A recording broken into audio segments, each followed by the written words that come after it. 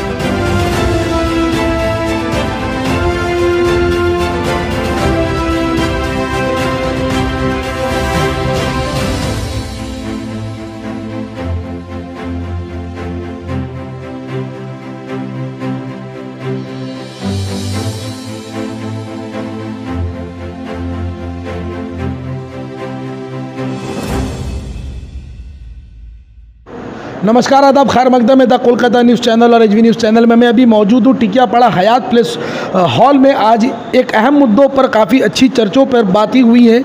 यहाँ पे काफ़ी सारे लोग, जो काफ़ी सारे काफ़ी अच्छे अच्छे लोग, सामाजिक कारकुन, जो अपने कौम के लिए और दीगर चीज़ों के लिए, जो हमेशा शाना बसाना खड़े रहने के लिए, आज जितने भी लोग यहाँ मौजूद हैं, अपने हकदार जानब के लिए, लड़ने के लिए, मर मिटने के लिए तैयार। और यहाँ पर काफ़ी सारे उम्र दराज और मेरे नौजवान भाई और हमसे भी काफ़ी उम्र दराज लोग भी यहाँ मौजूद हैं। आज इस मुद्दों पे बात हो रही थी, जो वक़फ़ प्रॉपर्टी के, जिसके ऊपर इलीगल कंस्ट्रक्शन चल रहा है, उसके ऊपर में एक अदारा आज जो है यहाँ पर मुकम्मल हुआ है, उस अदारे के तौर पर इन लोगों का कुछ मुद्दा है, जो ये लोग वक़फ़ स्टेट से करना चाहते हैं। आइए इस चंद सवालात में यहाँ के जो अदारे के जो है सबसे मेरे ने पता है कि आप किस मुद्दे को लेकर आप वक़फ़ स्टेट से जो ये बातें करना चाहते हैं? अस्सलाम वालेकुम वरहमतुल्लाहि वबरकातुहू। मैं नेम सिराज अंसारी। सर, मैं आज कई साल से बीबी मस्जिद में नमाज़ पढ़ता हूँ। और जब मैं बीबी मस्जिद के हालात को देखता हूँ तो मेरे आँख से आँसू निकल जाते हैं।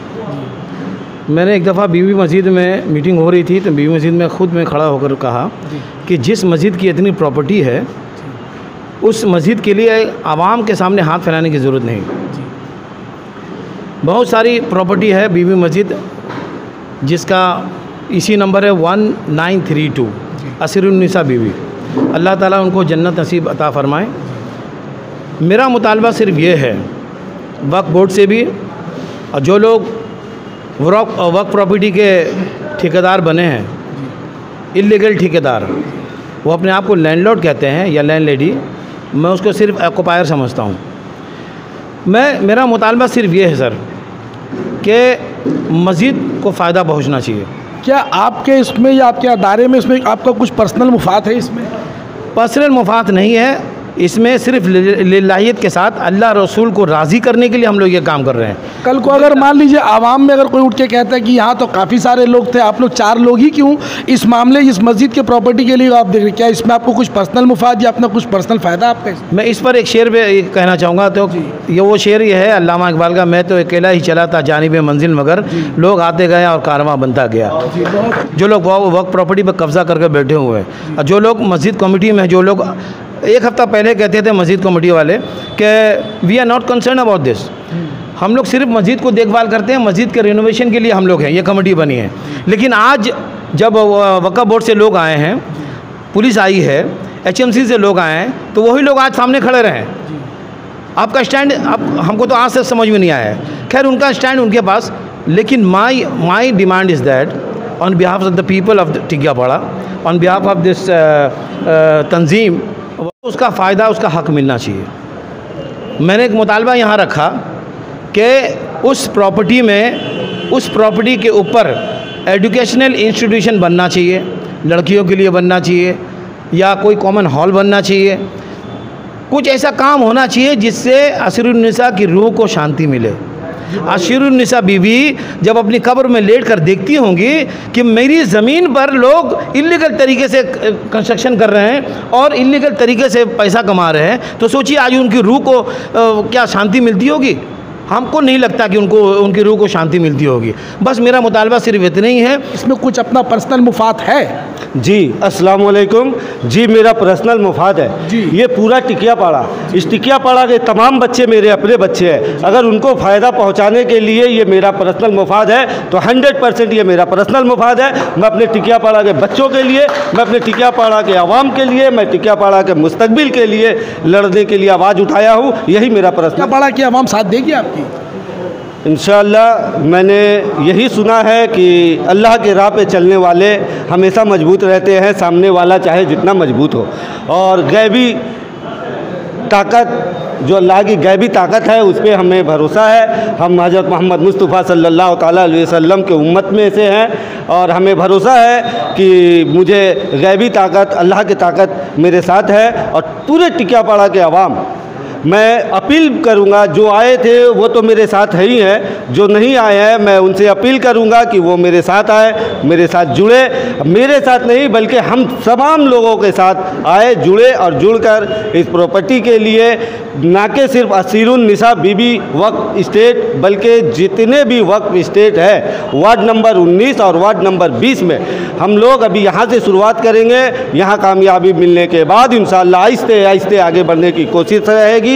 और हम लोगों का यही कोशिश है कि इस प्रॉपर्टी से समाज का भला हो, मुसलमानों का भला हो। आज हम देख रहे हैं कि गैर मुस्लिम भी वक्त प्रॉपर्टी पे कब्ज़ा कर रहे हैं। हम लोग आवाज़ नहीं उठा पा रहे हैं। लोग बोल भी रहे हैं कि वो लोग गैर मुस्लिम कब्ज़ा कर रहे हैं। भाई मेरे, मैं आपको बता दूँ कि जब मैं अपने भाई से नहीं लड़ सकता तो दूसरे बाहर लोगों से कैसे लड़ूं? पहले मैं अपने कौम के लोगों से अपनी प्रॉपर्टी को बचा लूँ। इन उसके बाद और भी आगे लड़ाई जारी रहेगी। बहुत बहुत शुक्रिया। मोहम्मद जलालुद्दीन। जलालुद्दीन साहब नाम बताने के लिए बहुत बहुत शुक्रिया। और अभी जो आज के मुद्दों पर जो काफ़ी बड़ा यहाँ पर जो चर्चा हुआ है आप लोग ने काफ़ी सारा मशवरा किया है। क्या लगता है कि ये मशवरा ख़त्म होने के बाद आप लोग इसके ऊपर में अमली जा अमली जमा कब तक पहनेंगे? इन ताला जिस तरह से यहाँ की आवाम आहिस्ता आहिस्ता वचब वक़ बचाव कमेटी के साथ मिल रही है लोगों में ये देखा जा रहा है कि जैसे जैसे वक़ की ये बातें फैलना शुरू हुई है, आस्ते आस्ते लोग जुड़ रहे हैं। क्योंकि सच्चाई जो है, भले ही कुछ वक्त तक दबी रह जाती है, लेकिन एक वक्त ऐसा भी आता है कभी, जो अल्लाह चाहता है तो सच्चाई को ऊपर लाता है। आज टिकिया पाड़ा में ऐसे कई मसले हैं, लेकिन आज वक़ बचाव कमेटी के जो हमारे साथी नौजवान ने आवाज़ उठाया है, ये सिर्फ़ बीबी मस्जिद वक़ प्रॉपर्टी की बात नहीं अभी अभी हमारे सामने हीरा भाई ने कहा कि 19 और 20 में जो भी वक़्फ़ जायदाद को जिन लोगों ने खुद के कब्ज़े में डाल के रखा है, उसका भी एक वक्त आना है कि पूरी टिकिया पाड़ा की आवाम खड़ा होने के बाद ये वक़्फ़ प्रॉपर्टी फिर से राह खुदा में ला दी जाएगी। ये हम तमाम लोगों की कोशिश रहेगी और कोशिश होनी भी चाहिए। देखिए, सबसे पहले मैं द कोलकाता न्यूज़ और एच न्यूज़ के जितने भी श्रोता हैं व्यूवर्स हैं, सबको मेरा सलाम। इस महफ़िल में जो भी मौजूद हैं, बुज़ुर्ग मेरे भाई, सभी को मेरा सलाम आदाब। ये जो प्रोग्राम जो बुलाई गई है, मीटिंग बुलाई गई है, इसमें 50 से ज़ायद टिकिया पाड़ा के सरजमी के बाइज़ शहरी लोग मौजूद थे और ये वक़फ़ बचाओ प्रॉपर्टी कमेटी के माध्यम से बुलाई गई। उन लोगों के मेम्बरान अरकान को मैं मुबारकबाद पेश करता हूँ। महमूद भाई हीरा हैं, इमरान भाई हैं और भी बहुत दीगर जितने शराज अंसारी साहब हैं और भी बहुत अरकान हैं। मैं बता दूँ पहले सबसे पहले कि पूरे ऑल ओवर इंडिया में उनतीस स्टेट्स हैं और सबसे टॉप टू स्टेट्स जहाँ सबसे ज़्यादा वक्फ़ प्रॉपर्टी है वो उत्तर प्रदेश और बंगाल है। बंगाल की 80 परसेंट प्रॉपर्टी वक्फ़ नहीं है पर बंगाल में सेकेंड लार्जेस्ट वक्फ़ प्रॉपर्टीज़ है। ये बात मैं वाजे कर दूँ। दूसरी बात मुझे बाइज़्ज़त टिकियापाड़ा लीकल हम लोग का जो टिकियापाड़ा लोकल रेसिडेंट्स कमेटी है जो वाटर लॉगिंग पे आवाज़ उठा रही है हम लोगों को मधु किया गया वक़ बचाओ प्रॉपर्टी कमेटी के द्वारा कि इस तरह का वाक़ है मीटिंग है आप लोग आइए। नौशाद भाई मेरे साथ हैं फ़खरुद्दीन भाई हैं और मेरे एक दोस्त नहीं आ पाएँ। मैं बता दूँ आपको लगभग लगभग इन लोगों के स्क्रूटनी और सर्चिंग के द्वारा 12 से 13 ऐसी प्रॉपर्टी है ऑन बिलियस रोड में जो कि मरहुमा असिरुन्निसा बीबी की वफ़ की हुई है। और वफ़ जैसा आप जानते हैं कि वफ़ किया ही जाता है दीनी तालीम के लिए मदारस के लिए स्कूल के लिए कॉलेज के लिए लाइब्रेरी के लिए। ये कोई नई बात नहीं है जो मैं आपको बताऊँगा। ठीक है। अब ये मसला यहाँ पे है। आप देख रहे हैं कि कुछ प्रॉपर्टी ऑलरेडी चार पाँच तल माला बना दी गई है। पहली बात तो मैं बता दूँ वक्फ लीज रूल्स है। Waqf central central Waqf council बनाई गई। उसके बाद वक्फ एक्ट 1995 को हर स्टेट फॉलो करता है। और वक्फ लीज रूल्स 2014 जिसको अमेंडमेंट करके 2020 कहती है कि सिंपल सी अगर आप कोई दुकान या कोई रिहाइश गाह का फ्लैट भी अगर आप लीज पे देंगे तो वहाँ के आवाम को जानकारी दे के करना पड़ेगा। By leaflet by miking by meeting के फला जगह को हम लोग जो है लीज पे दे रहे हैं और उसका जो ज़्यादा कीमत देगा उसको दिया जाता है। ये एक मैंने आपको रूल बताया सिर्फ़। तो इतनी बड़ी प्रॉपर्टी को आप जब कंस्ट्रक्ट कर रहे हैं और वो भी कंस्ट्रक्ट करके दीनी तालीम मद, मदारिस बनाने के लिए नहीं उसको फ्लैट को सेल आउट किया जा रहा है। ये इख्तियार आपको किसने दिया है? ये इख्तियार किसने दिया है? ये कमेटी वक्त प्रॉपर्टी बचाओ कमेटी मैं शुक्रिया अदा करता हूँ मुबारकबाद पेश करता हूँ। काबिल कबूल है इन लोगों का काम कि ये लोग जो है लोगों को जागरूक कर रही है और अल्हम्दुलिल्लाह मरहुमा अरसरुस्सा बीबी का जो सपना है उसको पूरा करने पे एक कदम और आगे बढ़ी है आमादा हुई है। मैं टिकिया पाड़ा के आवाम से गुजारिश करूँगा कि आप लोग हम लोगों का इन लोगों का साथ दें और आगे बढ़ चढ़ कर काम करें। के खिलाफ ये जिस जो लोगों के ख़िलाफ़ अब जा रहे हैं क्या लगता है कि वो लोग भी अपने कोशिश में लगे होंगे? अस्सलाम वालेकुम वरहमतुल्लाहि वबरकातुहू। और मैं एच बी न्यूज़ और द कोलकाता न्यूज़ का शुक्रगुज़ार हूँ कि आपके ज़रिए से हमारी बातें जो है वो आवाम तक पहुँचेंगी इन ताला। और आवाम भी इन ताला आने वाले वक्त में हमारा साथ देंगे। जिस तरह आपने कहा कि वो भी डिफेंस कर सकते हैं ये हर किसी का इख्तियार है कि जब ऑफेंस होता है तो डिफेंस भी होता है। और ये करना भी चाहिए। उनको साबित करने का पूरा मौका है कि आप साबित कीजिए कि आप गलत नहीं हैं और हम आपको साबित करेंगे कि आप गलत हैं। हमारी जो लड़ाई है वो निजी लड़ाई नहीं है।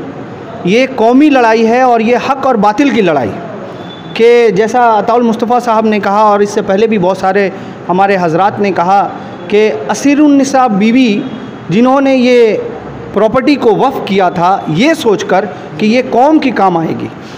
मगर आज ये देखने को आया कि इबलिस के कुछ चेले हैं जो इस वफ़ प्रॉपर्टी को लूट मार करके अपने आप को और हराम खाने का इनका आदत ऐसा हो गया है कि आपको मैं बता नहीं सकता कि ये अपने गलतियों पर इस कदर पर्दा डालते हैं कि जैसे इन लोगों ने बहुत बड़ा काम किया है। हम लोगों को ये समझ में आया जैसा मुद्दा शुरू ऐसे हुआ था कि शुरुआती दौर पे हम लोगों को मालूम ये चला कि असीरुन्नसा बीवी ईसी नंबर 1932 के जानिब से वो जितने भी प्रॉपर्टी हैं मस्जिद की उनको सिर्फ़ और सिर्फ़ एक सौ दिया जा रहा है और चवालीस सौ रुपया एवरेज बुकिंग चल रहा है उस प्रॉपर्टी में। तो मेरा ये मुतालबा था, मैंने आवाज़ इसी तरह बुलंद किया था फेसबुक के ज़रिए से कि आखिर क्यों मस्जिद को एक सौ दिया जाएगा और बाकी पैसा ये लोग लेंगे क्यों? जैसा सराज अत्तारी साहब ने भी कहा ऑक्यूपायर कौन है? ऑक्यूपायर कौन है फैसला करने वाला कि किसको कितना मिलेगा? ये फैसला तो मस्जिद के इख्तियार में होना चाहिए था। आज हम वह बोर्ड को बोलते हैं कि वह बोर्ड इसका मालिक है या वह बोर्ड कुछ करना चाहता है। कहने का मकसद ये है कि असीर उन्निसा बीवी को उस वक्त मालूम नहीं था कि ये वह बोर्ड क्या चीज़ है और कौन क्या चीज़ है। उनको सिर्फ़ और सिर्फ़ ये मालूम था कि उन्होंने ये तमाम प्रॉपर्टी जो है, वो बीवी मस्जिद को दिया है। असीर उन्निसा बीवी ने वो मस्जिद को दिया था। वो, वह बोर्ड को देखकर उन्होंने नहीं दिया था, वो भी आज़ादी से पहले। तो कहने का ये मकसद है कि अल्हम्दुलिल्लाह आज हमारे ज़रिए से अब अभी जैसे सिराज भाई ने कहा ना कि मैं अकेला ही चला था जानब मंजिल मगर लोग साथे आ, आते गए और कारवा बनता गया। ये दिखने में हम भले से पचास हैं मगर याद रखिए इन ताला अगर अल्लाह ने चाहा तो जंग बद्र के हम 303 और वहाँ पर मुनाफिक और क- कुफ्फार होंगे 100 एक हज़ार। उनके बराबर इन ताला हम जीतेंगे भी और कामयाब भी होंगे। इसरार भाई तो आप मुझे ये बताएँ इसरार भाई कि सबसे पहला आपका आप लोगों का अदारा का क्या स्टेप होगा? अस्सलाम वालेकुम। सबसे पहले मैं शुक्रिया अदा करूँगा एस वी न्यूज़ और कोलकाता न्यूज़ का। जी। आ, जैसा कि हमारी कमेटी ने ये कदम जब उठाया तो बहुत सारे जैसे जवान लोग हैं डर एक डर नाम का चीज़ होता है डर। कि आप क्या कर रहे हैं? आप क्या कर रहे हैं? ये सब मामले में मत पड़िए नहीं तो ये होगा वो होगा डराया जा रहा है। तो सबसे पहले मैंने डर को दिल से निकाला कि डरना नहीं है। अगर आज हम डर गए तो आज हमारा मस्जिद जा रहा है, कल को कंस्ट्रक्शन लाइन में ऐसा पैसा, इतना पैसा हो गया है कि ये अंधे लोग ना कब्रस्तान के ऊपर भी घर बना के बेच देंगे।